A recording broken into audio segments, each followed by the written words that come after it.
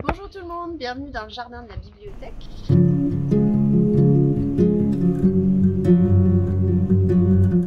Pour toutes celles et ceux qui pensent qu'ils ne savent pas jardiner, pas de souci, nous avons ce qu'il faut à la bibliothèque. Vous pouvez trouver désormais plein de petites fiches à l'accueil, et dont certaines que vous pouvez embarquer chez vous pour apprendre par exemple à faire pousser la menthe et à la bouturer. Euh, rappel aussi, pouvez venir jardiner à la bibliothèque pour les ateliers jardin. Ce mois-ci, ce sera le 21 mai de 14h à 16h dans le jardin de la bibliothèque. Vous pouvez aussi profiter de notre bouturothèque.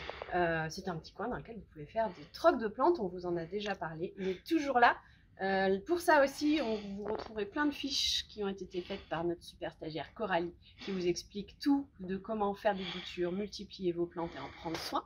Tout ça à disposition à l'accueil.